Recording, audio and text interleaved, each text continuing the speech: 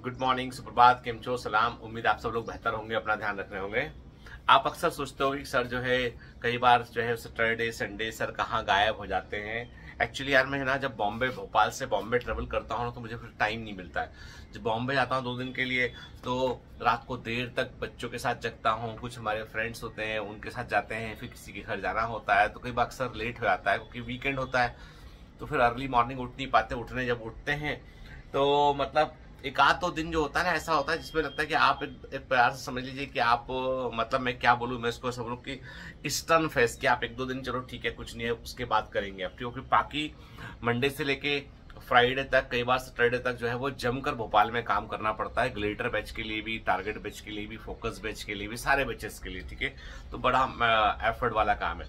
और कुछ बच्चों ने मुझसे कहा व्हाट्सएप पे पूछा कि सर आपने स्पेशल ऑप्स बैच के साथ में आपने जो है वो आपने एडमिशन शुरू किए, फिर बाद में आपने बोला कि ये बैच को हम अबॉर्ड कर रहे हैं अभी फ़िलहाल कुछ कारणों से। तो कारण क्या थे वो जब स्पेशल ऑप्स को हमें अबॉर्ड करना पड़ा और क्यों ऐसा स्टेप लिया हमने जबकि एडमिशन उसमें हो चुके थे? सबसे बड़ा कारण ये था जो हमको एक बच्चे ने पॉइंट आउट किया और वो बच्चा बनारस का उसने बोला कि, सर देखिए आपने शायद ये पता नहीं किया कि आपने कहा है कि एक दिन के लिए चलो हम आ जाएँगे, एक दिन के लिए आ जाएँगे, किसी धर्मशाला, गेस्ट हाउस कहीं भी रुक जाएँगे हम ठीक है ना?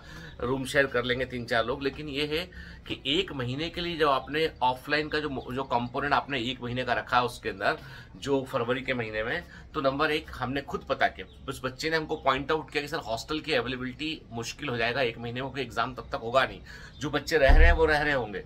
दूसरा इंपॉर्टेंट इशू ये है कि सर एक महीने का हॉस्टल कोई भी, जब हॉस्टल ऑनर देगा ना तो एक महीने का सिक्योरिटी डिपॉजिट लेगा और एक महीने का रनिंग का वो हमसे अमाउंट लेगा। और और सिक्योरिटी डिपॉजिट को वापस शायद करे ना करे, ये भी इंश्योर कर लीजिए। और हमने वाकई में देखा ये चीज़। कई बच्चों ने बताया कि हॉस्टल ऑनर्स क्या करते हैं? जैसे मान लीजिए, आपसे जब भी आप जाएँगे तो आपसे एक महीने का एडवांस का ले लेंगे आपसे और एक महीने का आपका जो है वो सिक्योरिटी डिपॉजिट लेंगे। और उस सिक्योरिटी डिपॉजिट को आखिरी महीने के किराए में या किसी चीज़ में एडजस्ट करते हैं। वापस मिलना थोड़ा सा डाइसी होता है। तो वो सारी चीज़ों पर हमने कम से कम 12-15 हॉस्टल में जानकारी निकाली, हमको लगा समझ में बताई कि नहीं साहब स्पेशल ऑप्स का प्रोग्राम हमने तय किया कि बच्चों के लिए अच्छा रहेगा, लेकिन हमने दूसरे डायनामिक्स को नहीं देखा और ये हमारी गलती है। ये हमारी गलती कि हमने दूसरे डायनामिक्स को नहीं देखा कि हमको जो है वो हॉस्टल हमारा खुद का होना चाहिए। और हमारा खुद का हॉस्टल अभी है नहीं, इतना फंड हमारे पास नहीं है अभी।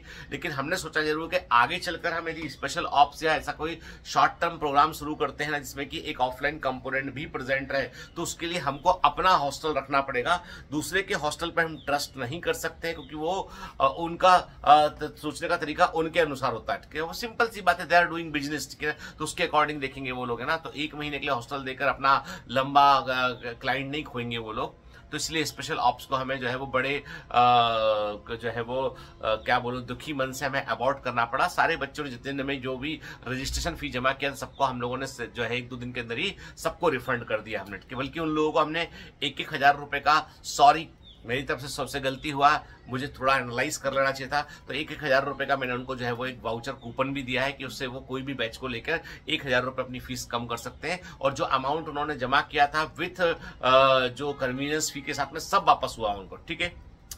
जो बच्चे हैं, वो जान रहे हैं इस बात को, ठीक है?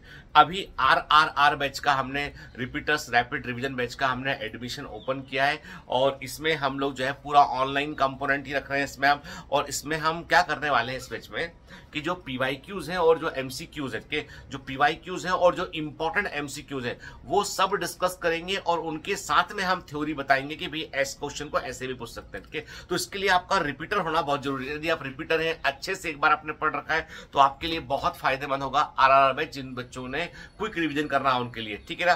तो आर आर बैच का पूरा शेड्यूल वो सब कुछ आपको मिल जाएगा। एडमिशन उसके ओपन हो चुके हैं और ये आखिरी बैच है ऑनलाइन में। इसके बाद फिर सीधा क्रैश कोर्स में बैच होगा अपना। मार्च के अंदर लॉन्च होगा वो, ठीक है? आर आर बैच की खास बात यह है कि इसमें क्रैश कोर्स इंक्लूडेड है।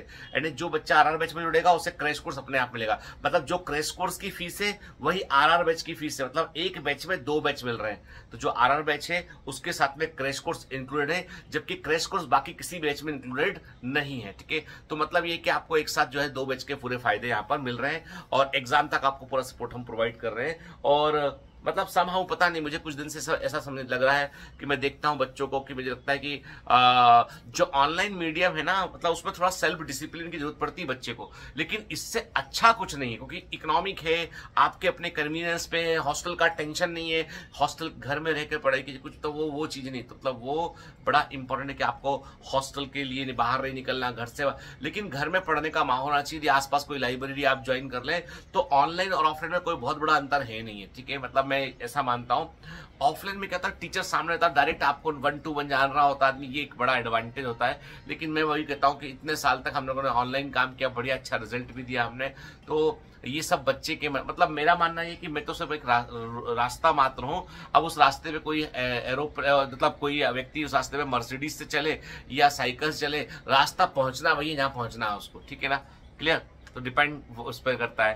तो तो मैं वही बोलूँगा कि बहुत सारे ऐसे डिसीज़न कई बार लाइफ में लेने पड़ते हैं जो आ, देखो गलती सबसे हो सकती है। मैं मानता हूँ ना कि आई एम नॉट फ्लॉलेस मुझसे भी गलती कभी कभी हो सकती है डिसीज़न लेने में लेकिन मैं उसको सहर्ष मतलब मैं उसको पूरी गरिमा के साथ एक्सेप्ट करता हूँ करेक्शन की पूरी कोशिश करता हूँ ठीक है। आर आर बैच के लिए आपके कोई सजेशन हो तो बताइएगा ज़रूर मेरे को बेटा ठीक है ना? है ना? तो हम लोग उसको भी इनकॉर्पोरेट करने की कोशिश करेंगे। चलिए कल मिलते हैं कल कोई कहानी के साथ बात करेंगे बाय बाय